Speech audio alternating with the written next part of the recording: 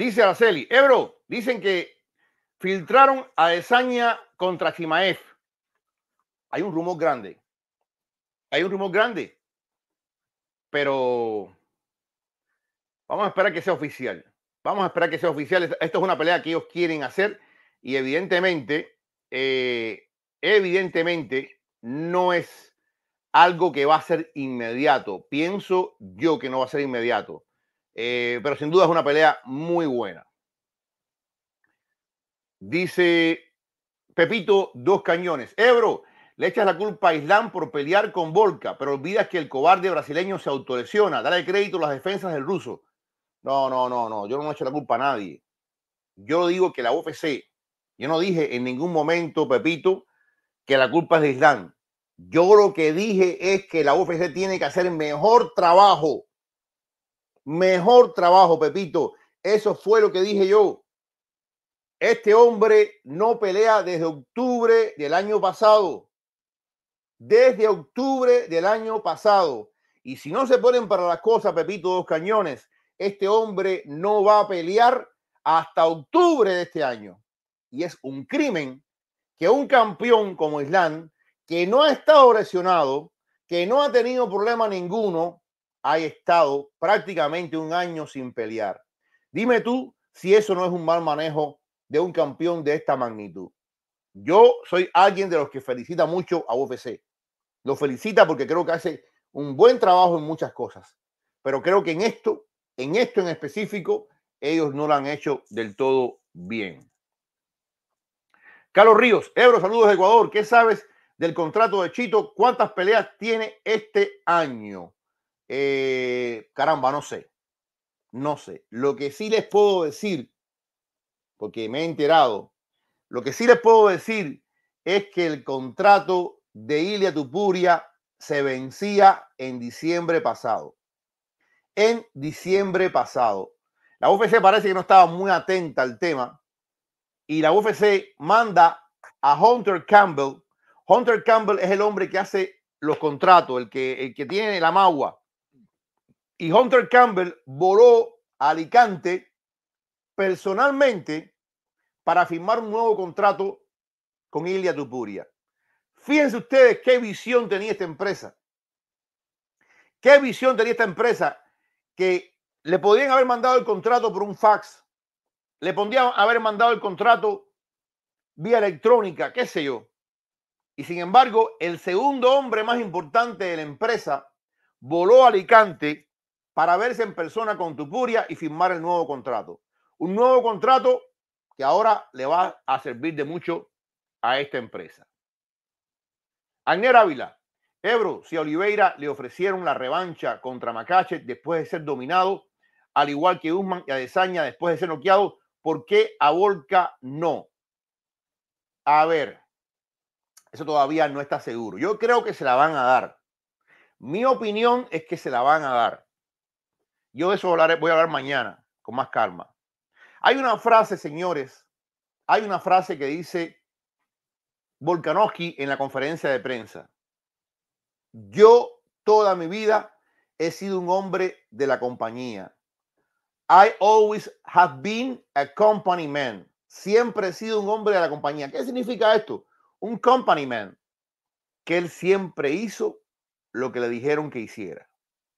Que él siempre estuvo listo para aceptar cualquier reto.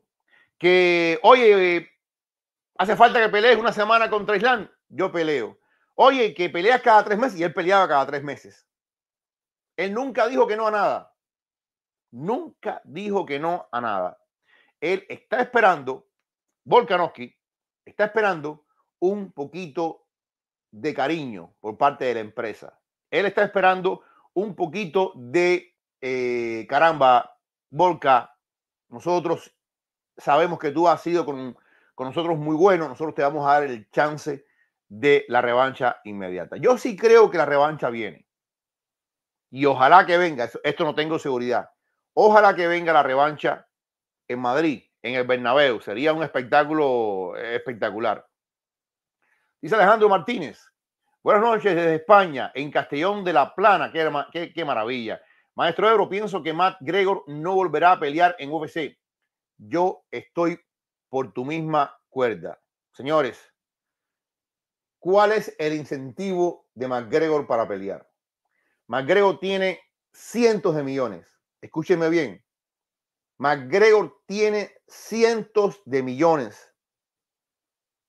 McGregor se levanta en las mañanas y ve el refrigerador lleno y ve su cuenta de banco y ve la almohada de lino y ve sus hijos y su esposa. ¿Cuál es el incentivo para Conor McGregor pelear? Ahora, en marzo viene la película.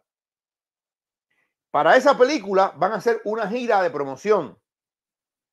Y McGregor tiene que haber firmado un contrato para promover la película. Y posiblemente se van al Festival de Cannes y al Festival de San Sebastián y al Festival de no sé qué y al de Toronto. Lo menos que va a tener McGregor en su cabeza es un pensamiento de pelea. Cada vez que McGregor les diga a ustedes que estoy en esto o estoy en lo otro, olvídense de eso. Todo es farsa. Yo escuchaba a Dana White y me doy cuenta que Dana White no tiene nada en la mano. Absolutamente nada en la mano. Y me da lástima, ya está con Chandler. Me da lástima. Chandler es la figura trágica de toda la historia esta. Tupuria pide a McGregor. Tupuria pide a McGregor, pero eso no va a pasar. No existe.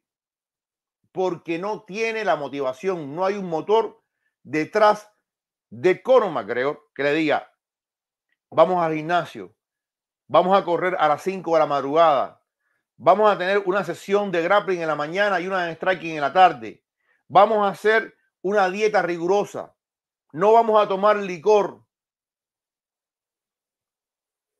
Conor perdió el guerrero hace rato. Dice Franco.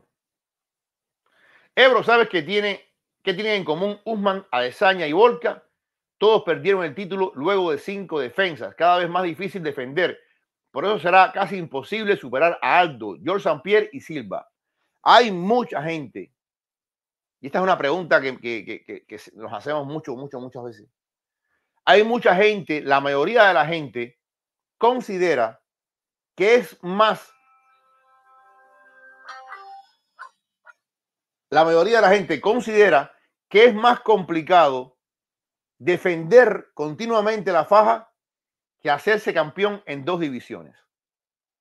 Hay gente que considera que tú puedes en algún momento ser campeón de dos divisiones, que es algo importante, es algo muy importante pero hay quien considera que lo más duro, lo más duro es defender, defender, defender, defender y defender.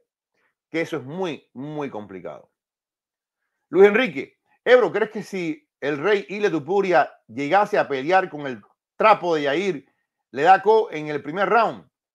Pero ¿por qué le dices trapos, Luis? ¿Por qué le dices trapos si es un peleador con tremendo nivel Jair Rodríguez, tremendo peleadorazo que es Luis Rodríguez, no digas eso, ni jugando. Es un gran, gran peleador y, yo espero esta semana ver una gran cartelera en México. ¿eh? Yo espero ver dos grandes peleas entre Jair Rodríguez y Brian Ortega. Ortega para mí es una incógnita en lo absoluto y espero también la pelea de Brandon Royval contra Brandon Moreno. Yo después les voy a hacer un análisis más profundo de la pelea de Moreno contra Royval y por supuesto la pelea de Ortega contra Jair Rodríguez. Y cuidado, cuidado, porque si no le dan la revancha inmediata a Volkanovski, yo creo que esta pelea de Jair Rodríguez y eh, Ortega adquiere una importancia superior a la que ya tiene en estos momentos. Huesos, Ebro, hay rumores de que el CMB va a declarar a Benavides rival mandatorio. ¿Qué opinas? ¿Y eso qué? ¿Tú no crees? a ver, escúchame esto. Escúchame esto, porque yo no creo nada, ya del boxeo no creo nada. Nada. Benavides se hace campeón interino hace más de un año. Hace más de un año que Benavides es campeón interino. ¿Qué significa ser campeón interino cuando tienes un supercampeón o campeón franquicia? ¿Qué significa eso? ¿Qué es el obligatorio? Campeón interino no es más que el hombre número uno para enfrentar al supercampeón o al campeón franquicia, lo que sea. En ese año y medio que ha tenido de interino, ¿cuántas veces Mauricio Suleimán ha dicho que mi campeón interino tiene que pelear con el mi campeón super? ¿Por qué lo dice ahora? Y una vez que lo diga, ¿qué va a pasar? Porque yo he visto muchas veces que un organismo manda una pelea, ordena una pelea y no pasa nada. No pasa nada en lo absoluto. Entonces, ojalá, ojalá no quiero ser pájaro de mar agüero. Ebro dice eh, MC, no infles a tu puria, por favor. Es el mismo caso con Mali. Ebro lo cansa, yo no estoy seguro. El que cansa es Eulev con su estilo de pelear. Eulev no finaliza, mi hermano. Eulev es el caballo de las llaves. Es el caballo de los abrazos. Pero Eulev no tiene la potencia para finalizar. Está demostrado. O no quiere o no puede. Eulev, mira a Diego López el trabajo que le metió. Mira cómo lo complicó un recién llegado. Euler no tiene la potencia de Tupuria ni jugando. Ojalá que sea una gran pelea. Pero yo creo que Euler no le van a dar el título hasta que no tenga una actuación dominante. Dominante. Y no la ha tenido. Jorge Sánchez. Ebro, ¿crees que Paddy Pimble algún día llegue a ser contendiente? Ahora mismo no lo creo. Tú tienes que ir con el momento. Y yo no quiero ser de esas personas que, que diga, en un par de años Paddy Pimble va a ser campeón, porque no lo creo. No lo creo. Yo creo que Paddy se ha hecho un flaco favor. No ha lucido bien en ninguna pelea. Lució horrendamente contra Jared Gordon para mí perdió la pelea. En un momento en que todo el mundo noqueaba o finalizaba a Tony Ferguson, Tony Ferguson no terminó. Le terminó en pie. Entonces yo ahora mismo no estoy eh, en condiciones de decirte que, que Paddy Pimble va a ser campeón de nada. En esa división, en el peso ligero, nada Simón Chávez, saludos, Ebro. ¿Cuál crees que es el candidato para pelear la noche en la 300? Amén. Fácil. Holloway contra AG.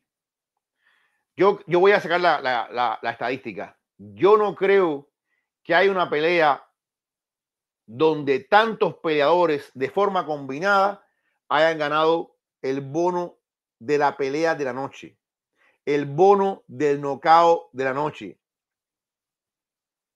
La cantidad de veces que Gaethje nos ha dado peleas inolvidables e interesantes. La cantidad de veces que Holloway nos ha dado peleas inolvidables, sangrientas e interesantes. Esa pelea tiene que ser muy buena. Dice Brian José, Tupuria quiere colgarse de McGregor. Tupuria lo que quiere es el dinero de McGregor. Tupuria lo que quiere es lo mismo que quieren todos. ¿Por qué tú crees que todo el mundo quiere pelear contra Canelo? Hoy, ¿quién trae plata? Plata al boxeo. Canelo.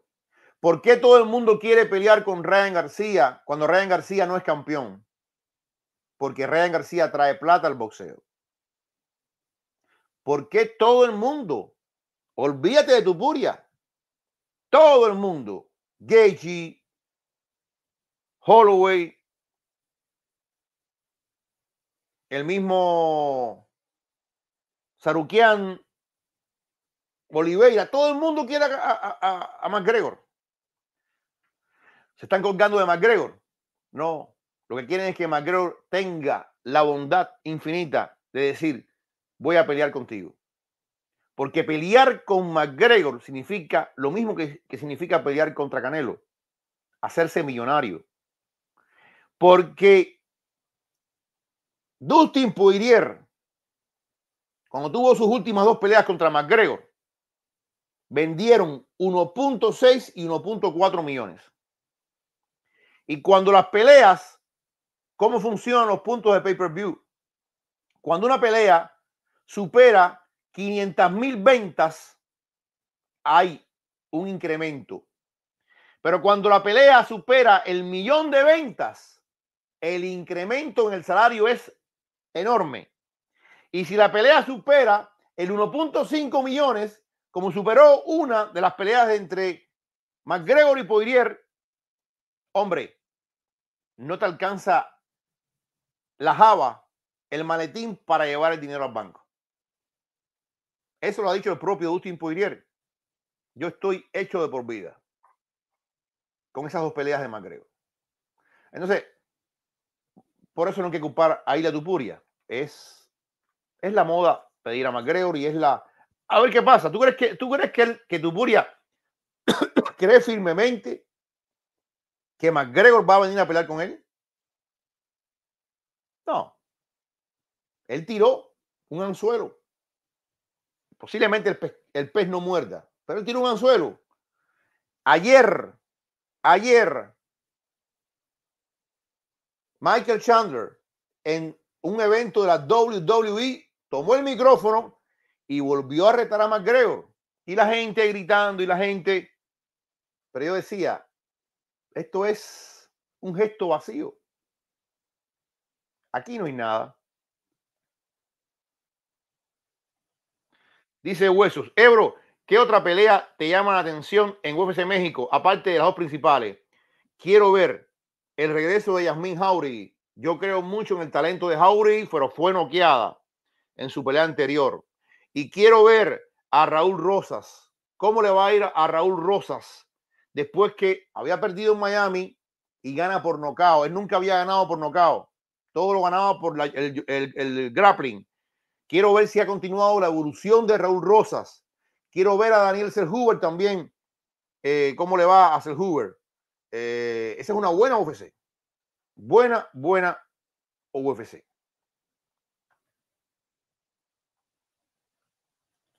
Dice Juancho. Ebro, ¿crees que si Max sobrevive a la pegada de Justin y milagrosamente logra ganarle, podría ser el único, eh, pero no ahora? Esta es mi opinión. Esta es mi opinión. Yo creo que ambos se van a dar tanto castigo en esta pelea. Creo que ambos se van a dar tanto golpe en esta pelea. Creo que ambos se van a gastar tanto que ninguno de manera inmediata, de manera inmediata, va a hacer lo que quiere.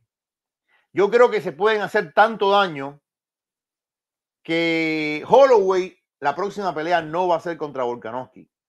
Y probablemente la próxima pelea de Gagey no sea contra Islam Makachev. Por eso son tan importantes las peleas de Arman Serukian contra Oliveira y la pelea de Yair Rodríguez contra Brian Ortega. Porque pienso yo que tomando en cuenta la historia de Gagey y Holloway, se van a hacer tanto daño, van a salir tan castigados que van a estar un tiempo fuera restañando las heridas.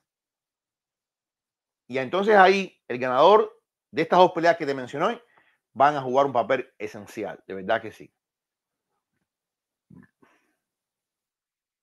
Dice Ángel García, maestro, ya casi dos años de la pelea de Glover contra Giri y aún no he visto una mejor. Fue un super peleón para la historia. De lo mejor, de lo mejor, de lo mejor. Ahí estamos totalmente, totalmente de acuerdo, hermano mío. Una pelea que termina como nadie la había pronosticado. Tú sabes que se apuesta todo. Se apuesta si la pelea llega a la distancia, se apuesta si la pelea es un round, si es a dos rounds, tres rounds.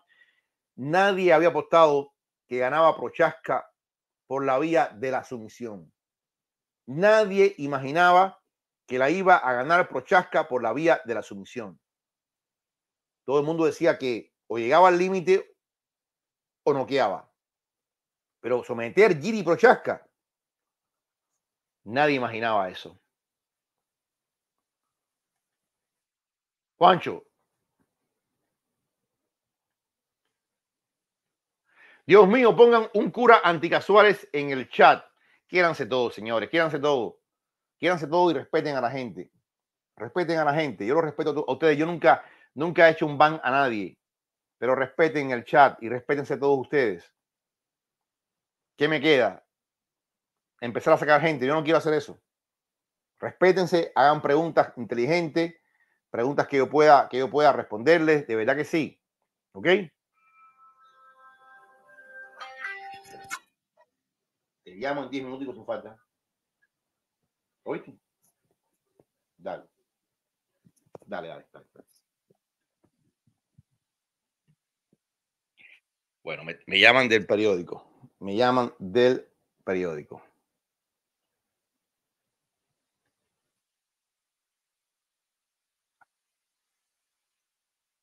Ay, Dios mío. Jorge Sánchez. Ebro, ¿cómo, ¿cómo puedo dejar de ser un casual? ¿Qué importa que seas casual o no? Eso no importa. ¿Qué importa que sepas un poquito más, un poquito menos? Eso no tiene sentido. Aquel que critica al otro por ser casual pierde su tiempo. Nunca mires para el lado, mira para adelante. Nunca critiques a tu alrededor. No envidies al otro. Siempre mira adelante, hermano mío. Siempre alguien que sabe más que tú y alguien que sabe menos que tú. La vida es muy corta, muy corta para perderla en esas tonterías. De verdad que sí. Cuídense y cuídenme. Bueno, señores, ya los voy dejando porque tengo que seguir trabajando. Los voy dejando, no sin antes recordarles que ya creo haber comenzado el tema de las membresías y si alguien se quiere suscribir y ser miembro del canal, bueno, estoy súper, súper agradecido. Lenin Ibarra, tú que me estabas preguntando de, de la membresía, bueno, ya creo que está por aquí dando vuelta. Por lo demás, señores, darle las gracias a todos ustedes.